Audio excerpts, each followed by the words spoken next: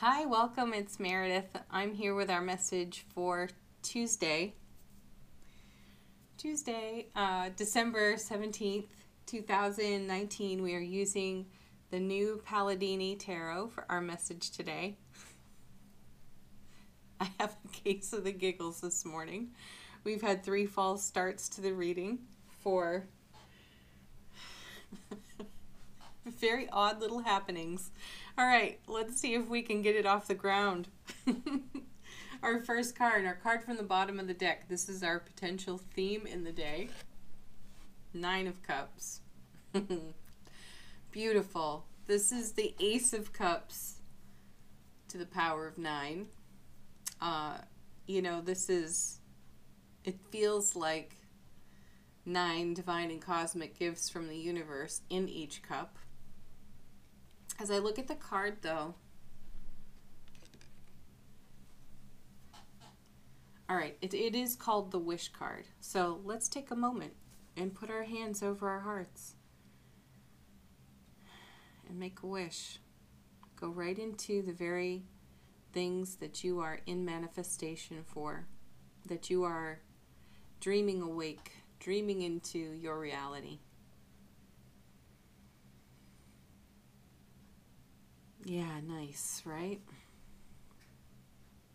Okay. I feel I feel a bit of the unexpected on this card today. It's a message of preparation, meeting opportunity in an unexpected, surprising, and delightful way today. So, that's enjoyable. There's a great positive vibe to it, and there's happiness in the card. There's expanded intuition in the card. So, you know, follow your gifts today where they lead you and be willing to say yes to something unexpected. All right, let's take a look at our first card. We have the King of Swords holding the Ace of Swords. There's a lot of ace energy here on the table so far. the King of Swords, all the kings and queens bring us the gift of their self mastery.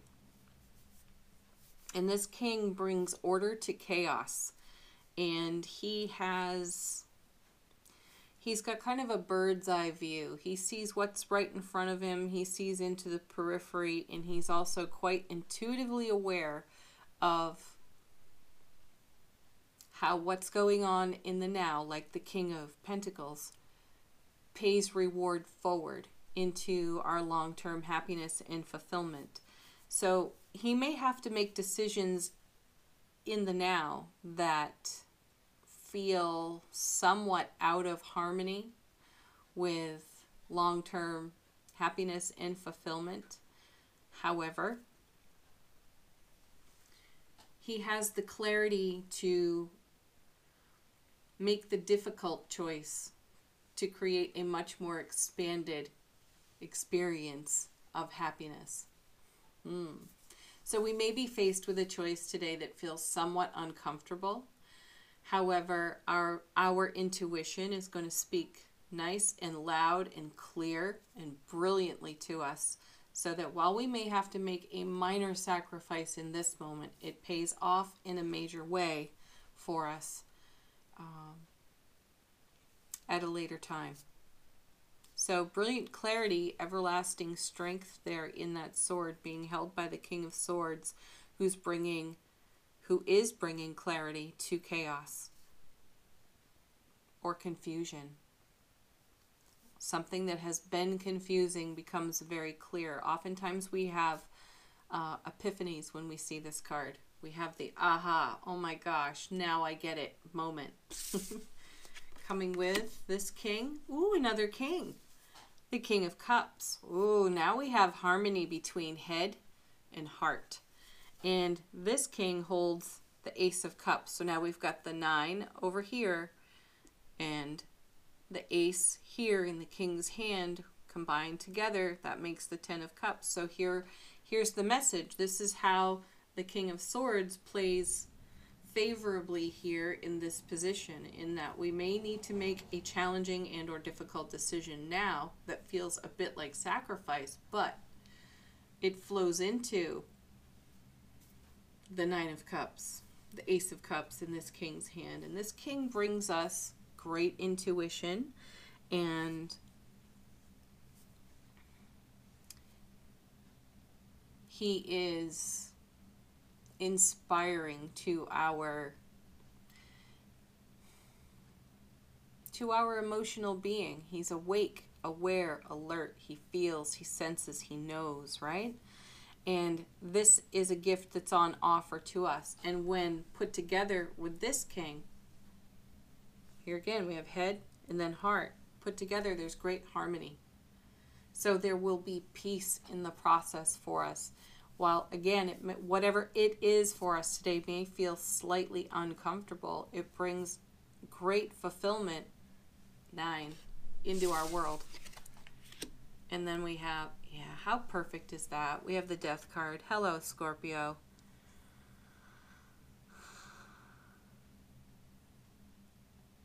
That's just it. These cards it's so perfect. All right. So death card is simultaneous ending and beginning.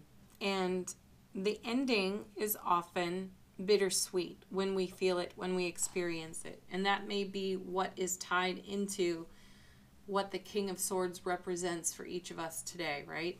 And the ending becomes bittersweet. We feel um, maybe a little bit emotional over some kind of perceived letdown, but then we have the epiphany of, oh, aha, I see the whole picture now. And I feel, I trust my intuition, and I know that I'm being blessed at all times. So, what's the blessing in this right now? The blessing is a new beginning. I'm feeling here with the death card, something's being transformed, purified, and our steps on a new path in a new direction are far more fulfilling and beautiful than we could have ever dreamed to begin with. The death card is reminding us of that today. So the white rose on the flag there is purification, and the death card itself is transformation. So the ending and the beginning create a transformation that is in heart harmony with your Nine of Cups, added to the Ace of Cups in the King's hand, making for you the Ten of Cups, which is fulfillment and happiness. Happy relationships, love, blessings, happy homes, happy families, good connections with our friends, our tribe, you know, it's all there. So Stay in the brilliant clarity and everlasting strength offered to you with the King of Swords. Stay deeply connected to your intuitive gifts. Listen to that. Ride the wave of the ending and the beginning and create your Ten of Cups type of life experience. Next card the High Priestess. oh my gosh, look at this. So here it is do a little rearranging here. In the major arcana, we have the death card and the king. They are one and the same in the reading. And then in the major arcana, we have the high priestess along with the king of cups. They are the same same card, same message. So the message in the cards confirms itself. That's fantastic. Interesting. I'm going to love to see comments on this one and how it played out for you in the day or within the week. So, the High Priestess, you know, for a couple of months now, the Death card and the High Priestess have shown up together more than once. You've got you've got Scorpio, you've got Pisces, you've got the message that we had from a couple of months ago about how the death card was going to help us by clearing off the foundation. The high priestess was going to allow us to see through our intuitive being what was in the periphery that maybe we weren't paying attention to that really did need our attention. And so once our attention was drawn to it, we couldn't look away from it. And it required an investment of our precious energy, which we invested. And then the death card came in and cleared the deck for us, cleared the foundation for us. And it's the kind of brilliant clarity you have with the King of Swords and the kind of brilliant intuition and emotional awareness you have with the King of Cups that allows this to happen. So, what's happening here is in small ways and then in big ways. We are experiencing this. So, at first, it's just gaining momentum, and then it's unleashed. And that's how you're seeing the progression in the cards. So, all of the journey work we've been doing has cleared our foundation so that we are in a receiving mode of divine and cosmic gifts from the universe for all that we've been holding in our heart space for a period of life experience. And it's coming to fruition in the nine and in the death card and in the high priestess. And we have the clarity to see it and we have the clarity to feel it. And we know it and we make it real. And that's beautiful. all right. Angel answers.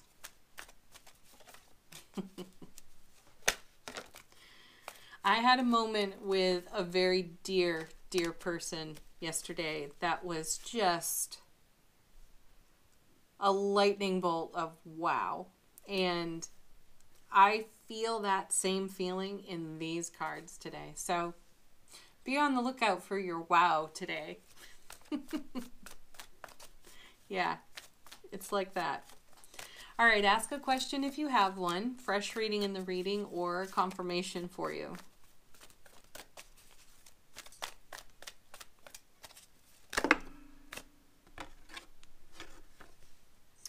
And we have wait. This is allow. yeah, allow.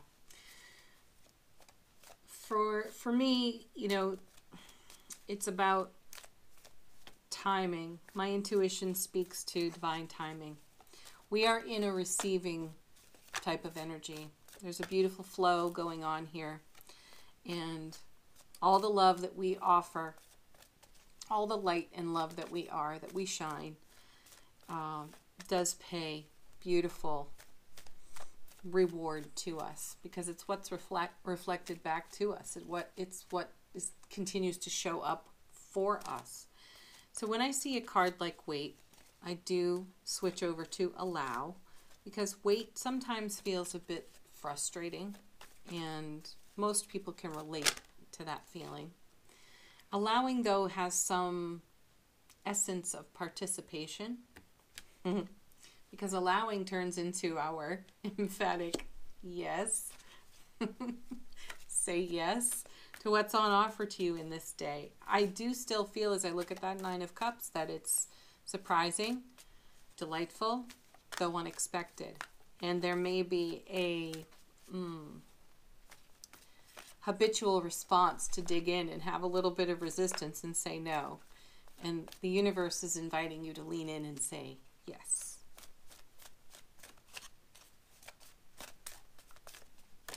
I also feel the wait card connects a bit to the ending on the death card. And, you know, having to make the choice of something that feels a little bit bittersweet in the day, but then creates much more love and happiness. Ooh, I just drifted so far out. I don't even know if what I just said made sense. okay. Next card. Yeah. You're ready. More than ready. Ooh. Okay. That's it for angel answers. Emphatically, yes, you're ready. So go. Just go. Affirmation from the universe has our back deck. My vibes speak louder than my words. Mm-hmm. That is absolutely so. And that's what creates this beautiful Nine of Cups. This is why we're doing our love wave of manifestation here on the channel. If you haven't checked that out, just tab over to the community section on the page here. Pardon.